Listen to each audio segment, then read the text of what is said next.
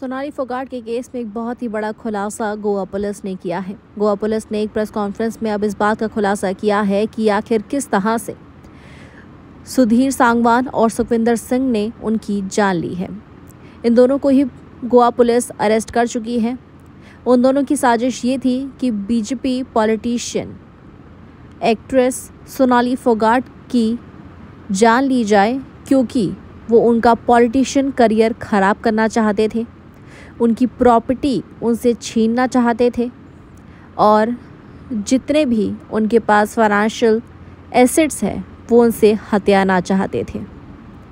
लेकिन इन सभी लालच के कारण उन्होंने एक छोटी बच्ची से उसकी माँ को हमेशा के लिए छीन लिया। एक बहुत ही खूबसूरत इंसान जो ज़िंदगी को खुलकर जीती थी, सबसे बेहद प्यार करती थी। सोनाली फोगाट उनकी जान ले ली। आज गोवा पुलिस उन्हें अरेस्ट कर चुकी है और हर कोई चाहता है उन्हें कड़ी से कड़ी सज़ा मिले।